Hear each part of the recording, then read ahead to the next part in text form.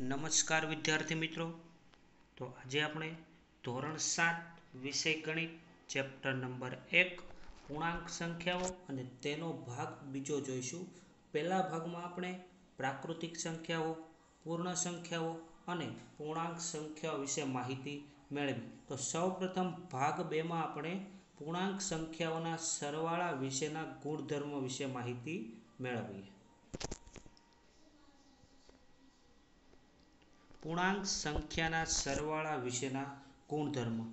તો પહેલો ગુણધર્મ છે કોઈ પણ બે પૂર્ણાંક સંખ્યાનો સરવાળો પૂર્ણાંક સંખ્યા જ મળે છે. ફરી એકવાર, કોઈ પણ બે પૂર્ણાંક સંખ્યાઓનો સરવાળો પૂર્ણાંક સંખ્યા જ મળે છે. આ તે છે સંવૃત્તતાનો ગુણધર્મ.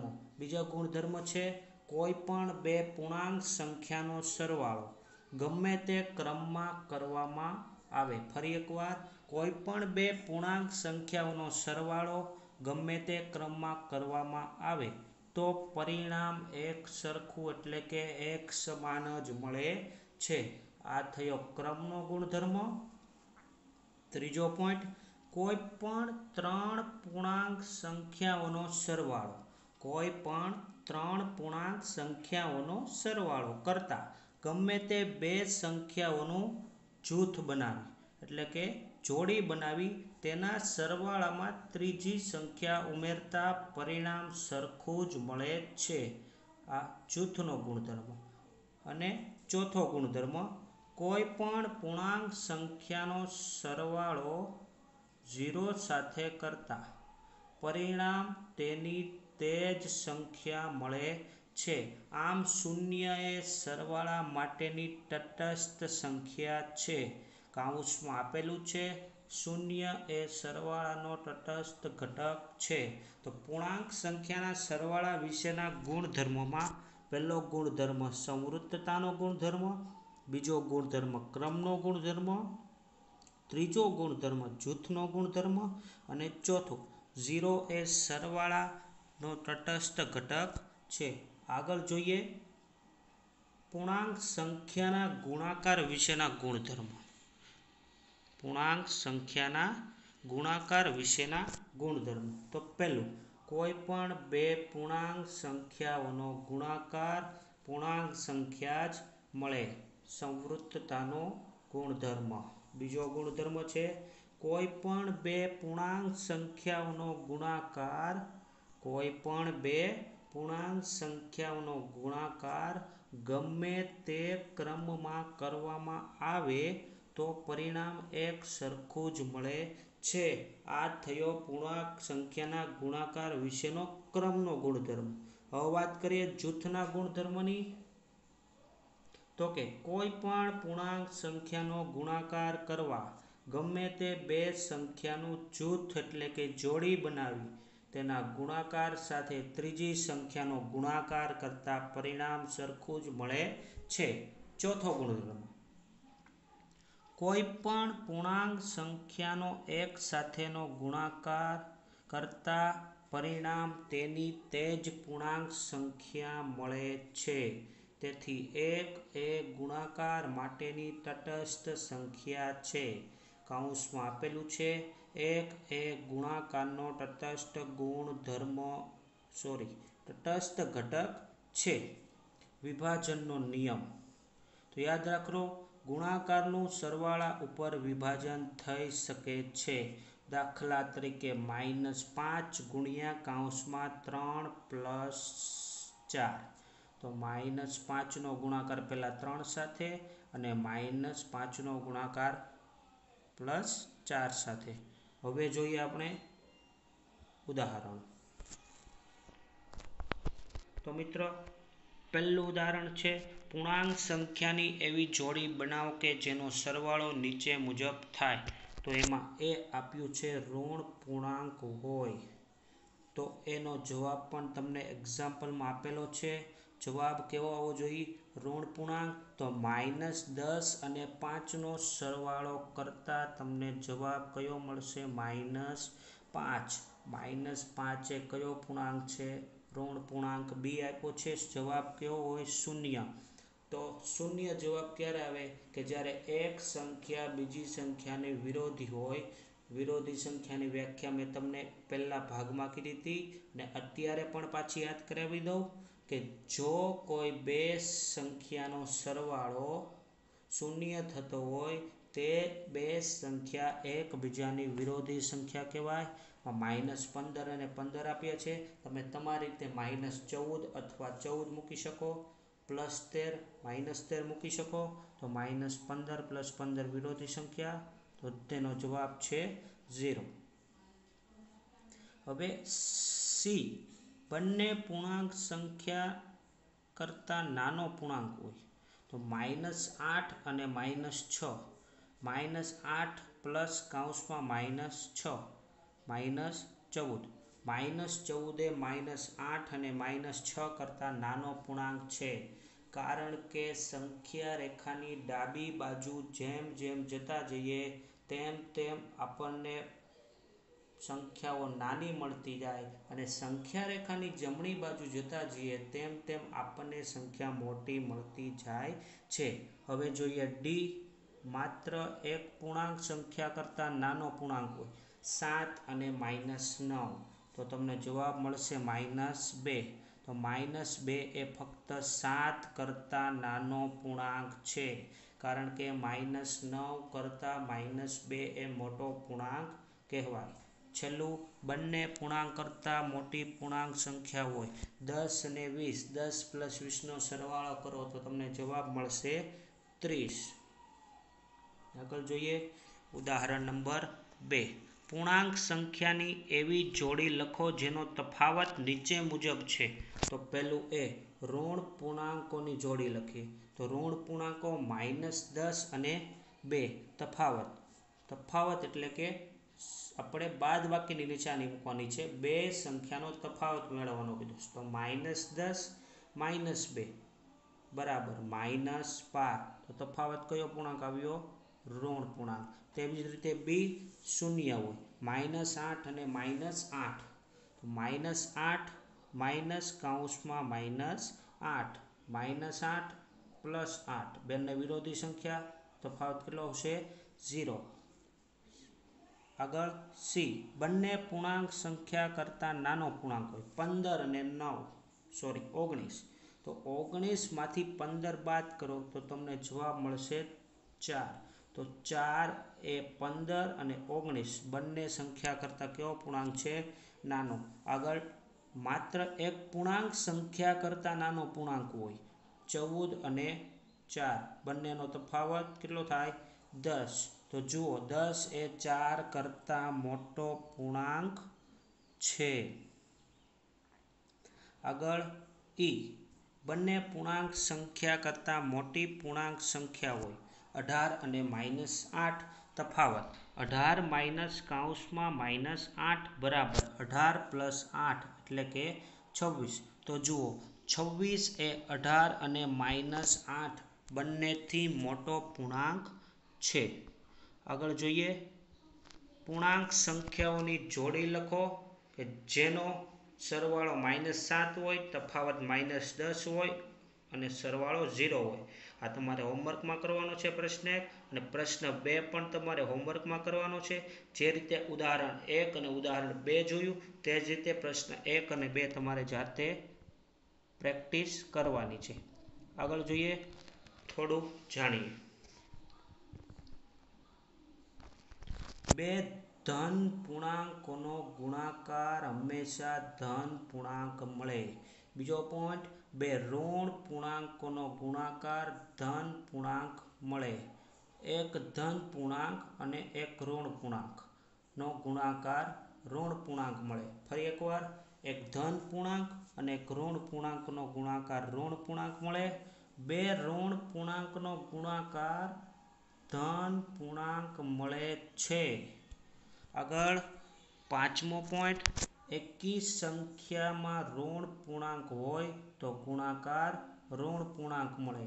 બેકી સંખ્યામાં ઋણ પૂર્ણાંક હોય તો ગુણાકાર ધન પૂર્ણાંક મળે. અને છેલ્લો પણ પોઈન્ટ કોઈ પણ પૂર્ણાંકનો ઝીરો સાથેનો ગુણાકાર હંમેશને માટે ઝીરો મળે છે. કોઈ પણ પૂર્ણાંકનો ઝીરો સાથેનો ગુણાકાર હંમેશને માટે ઝીરો મળે છે. તો જોઈએ એક્ઝામ્પલ નંબર એક.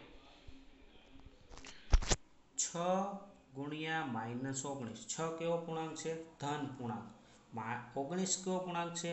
ઋણ પૂર્ણાંક. તો એક ધન અને એક ઋણ પૂર્ણાંક છે. તો તમને જવાબ કેમાં મળશે? ઋણ પૂર્ણાંકમાં. તો ઓગણીસ છંક એકસો ને ચૌદ. તો કેવા એકસો ચૌદ?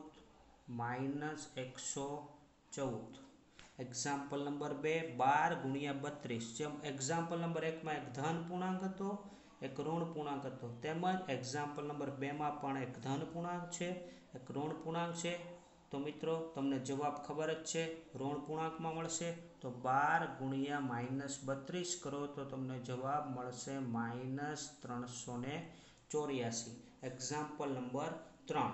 માઇનસ ચાર ગુણ્યા માઇનસ ત્રણ. હવે બંને ધન પૂર્ણાંકો નથી, પરંતુ કેવા પૂર્ણાંકો છે? ઋણ પૂર્ણાંકો. કે જ્યારે બંને ઋણ પૂર્ણાંકો હોય, ત્યારે તેનો જવાબ તમને ધન પૂર્ણાંકમાં મળે. તો માઇનસ ચાર ગુણ્યા માઇનસ ત્રણ ઇઝ ઇક્વલ ટુ પ્લસ બાર. આગળ જોઈએ. એ, બી, સી અને ડી ચાર પ્રકારના દાખલા તમને આપ્યા છે. જેમ તમે એક્ઝામ્પલ એકથી ત્રણ જોયા, ઋણ પૂર્ણાંક, ધન પૂર્ણાંકવાળા, તે જ રીતે એ, બી, સી અને ડી આ ચારેય દાખલા તમારે પ્રેક્ટિસ કરવાની છે. હવે નવો પ્રશ્ન જોઈએ. નીચે આપેલી કિંમતો એ અને બી માટે એ માઇનસ કાઉન્સમાં માઇનસ બી બરાબર એ પ્લસ બી ચકાસો. તો નીચે તમને ચાર દાખલા આપેલા છે. તેમાંથી હું તમને પહેલો દાખલો ગણાવું છું. તો જોઈએ આગળ પહેલો દાખલો. એ બરાબર આપેલું હતું એકવીસ અને બી બરાબર આપેલું હતું અઢાર. ઉપર સૂચનામાં તમને સૂત્ર પણ આપી દીધું હતું અને ચકાસવાનું કીધું છે એ માઇનસ કાઉન્સમાં માઇનસ બી બરાબર એ પ્લસ પી તો એની કિંમત પહેલાં કેટલી મૂકવાની તમને આપી દી રકમમાં? એકવીસ માઇનસના માઇનસ કાઉન્સમાં માઇનસ બીની કિંમત કેટલી આપી છે? અઢાર. બરાબરની જમણી બાજુ પણ એ પ્લસ બી આપેલો છે, તો એકવીસ પ્લસ અઢાર. તો એકવીસ માઇનસ માઇનસ પ્લસ અઢાર બરાબર એકવીસ પ્લસ અઢાર. તો ઓગણચાલીસ બરાબર ઓગણચાલીસ. માટે ડાબા બરાબર જબા શક્ય છે. માટે A minus કાઉન્સમાં minus B is equal to A plus B સાચું છે. તે રીતે તમારે ત્રણ દાખલા જાતે ગણવાના છે. આગળ જોઈએ. વિભાજનના ગુણધર્મનો ઉપયોગ કરીને જવાબ શોધો.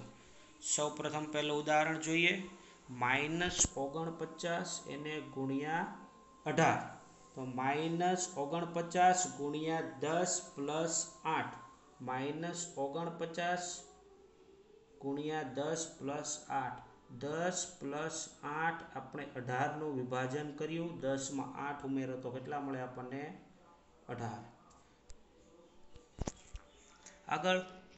માઇનસ ઓગણપચાસનો ગુણાકાર દસ સાથે પણ થાય અને આઠ સાથે પણ થાય. તો પહેલાં માઇનસ ઓગણપચાસનો ગુણાકાર દસ સાથે કરો પ્લસના પ્લસ, પછી માઇનસ ઓગણપચાસનો ગુણાકાર આઠ સાથે કરો. તો દસ સાથે ગુણાકાર કરતાં તમને જવાબ મળશે માઇનસ ચારસો નેવું અને આઠ સાથે ગુણાકાર કરતાં તમને જવાબ મળશે માઇનસ ત્રણસો બાણું. અહીં આપણે કયા ગુણધર્મનો ઉપયોગ કર્યો?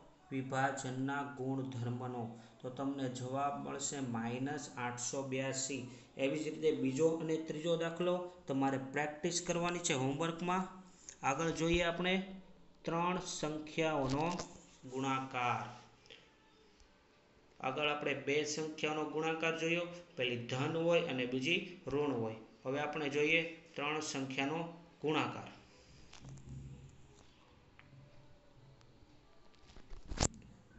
માઇનસ પંદર ગુણ્યા ઝીરો માઇનસ અઢાર.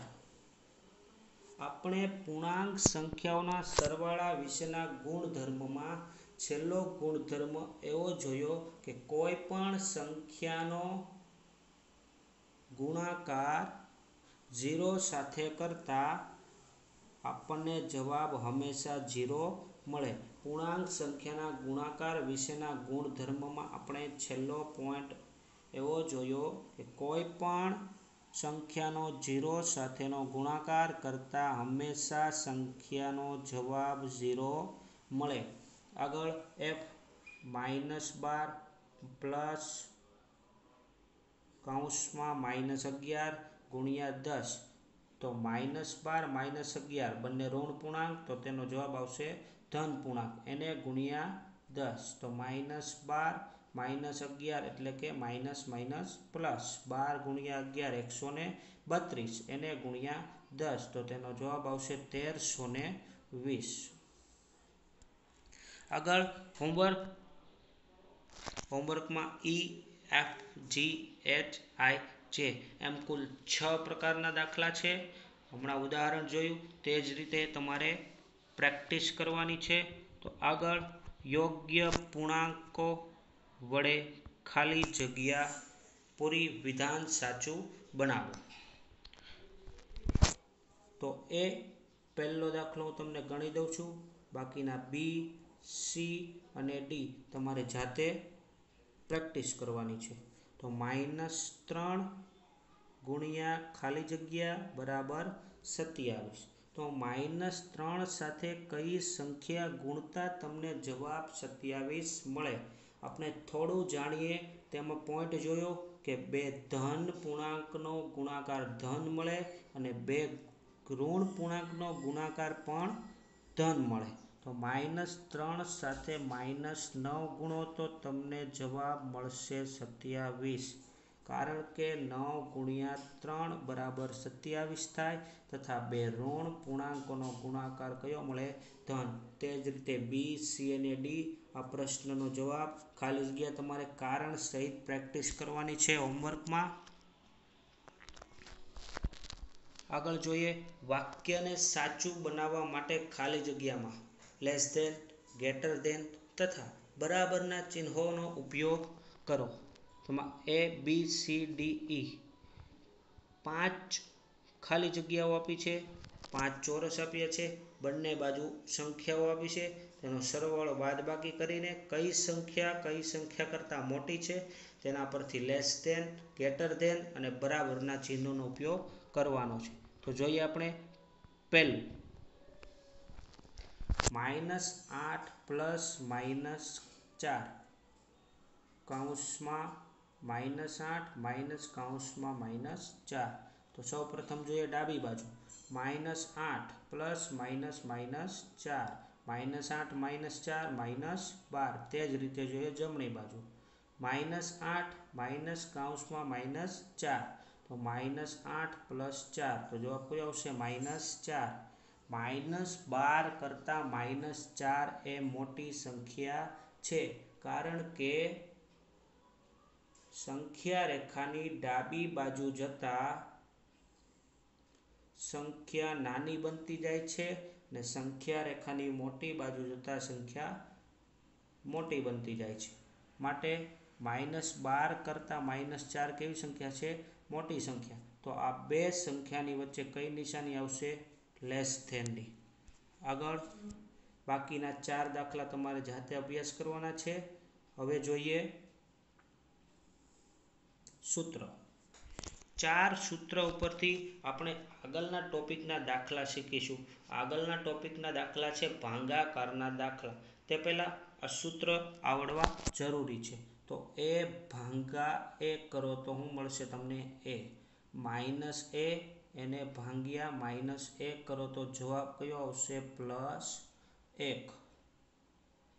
માઇનસ એ, એને ભાંગ્યા વન કરો તો તમને જવાબ મળશે માઇનસ એ અને માઇનસ એ ભાંગ્યા માય પ્લસ એ કરો તો તમને જવાબ મળશે માઇનસ એ તો જોઈએ ભાંગાકારના દાખલાઓ. તમને ચાર એક્ઝામ્પલ આપેલા છે, તેના જવાબ પણ નીચે આપેલા છે. તમને બે એક્ઝામ્પલ સમજાવી દઉં. બે એક્ઝામ્પલ તમે જાતે પ્રયત્ન કરજો. તો પહેલું એક્ઝામ્પલ છે એ માઇનસ સો ભાંગ્યા પાંચ. તે પહેલાં ઉપર એક પોઈન્ટ આપ્યો છે. તે સમજીએ, ઋણ સંખ્યાનો કોઈ ધન સંખ્યા વડે ભાંગાકાર કરવાનો હોય, ત્યારે બંને સંખ્યાને ધન સંખ્યા ગણીને ભાંગાકાર કરવાનો હોય છે. પછી મળતા ભાગાકાર આગળ ઋણ ચિહ્ન મૂકવામાં આવે છે. તો પહેલું એક્ઝામ્પલ છે માઇનસ સો ભાંગ્યા પાંચ. માઇનસ સોના છેદમાં પાંચ. તો તમને જવાબ કયો મળશે? માઇનસ વીસ. બીજું એક્ઝામ્પલ છે માઇનસ એક્યાસી ભાંગ્યા નવ. તો તમને જવાબ મળશે માઇનસ આઠ. તેવી જ રીતે ખાલી જગ્યાઓ પૂરો. ભાંગાકારની ખાલી જગ્યાઓ પૂરો. જે તમને ચાર સૂત્ર સમજાવ્યા, તેની પછી એક્ઝામ્પલ ભણાવ્યા બે. તેના પરથી A B C D E F G H એમ આઠ પ્રકારની ખાલી જગ્યાઓ આપી છે. તમારે હોમવર્કમાં કરવાની છે. તો મિત્રો, અહીંયા ચેપ્ટર નંબર બે, પૂર્ણાંક સંખ્યાઓ પૂર્ણ થાય છે. પહેલા ભાગમાં જોયું આપણે પૂર્ણાંક સંખ્યાઓ વિશે, પ્રાકૃતિક સંખ્યાઓ વિશે અને પૂર્ણ સંખ્યાઓ વિશે. તેના એક્ઝામ્પલ જોયા, તેના સ્વાધ્યાયના દાખલા પણ જોયા, અને તમે હોમવર્ક પણ કર્યો છે સરસ રીતે. એવી હું આશા રાખું છું, આગળ પાઠ બેમાં આપણે આજે જોયું પૂર્ણાંક સંખ્યાઓના સરવાળા વિશેના ગુણધર્મ, પૂર્ણાંક સંખ્યાઓના ગુણાકાર વિશેના ગુણધર્મ. થોડું આ યાદ રાખીએ, તેમાં નવી થિયરી જોઈ, તેના એક્ઝામ્પલ જોયા, તેના દાખલાઓ પણ તમને હોમવર્કમાં આપ્યા છે. આગળ જોયું, વિભાજનના ગુણધર્મનો ઉપયોગ કરીને દાખલા મેળવો અથવા જવાબ શોધો. પછી જોયું, ત્રણ સંખ્યાનો ગુણાકાર. આગળ યોગ્ય પૂર્ણાંકો વડે ખાલી જગ્યા પૂરો. અને વિધાન સાચું બનાવો, તે પછી જોયું આપણે, લાસ્ટમાં ભાંગાકારના દાખલા. ભાંગાકારના દાખલાના ચાર સૂત્ર જોયા અને તેના પરથી છેલ્લે હોમવર્કમાં તમને ખાલી જગ્યાઓ પણ આપી છે મેં, તે પૂર્ણ કરજો. અસ્તુ.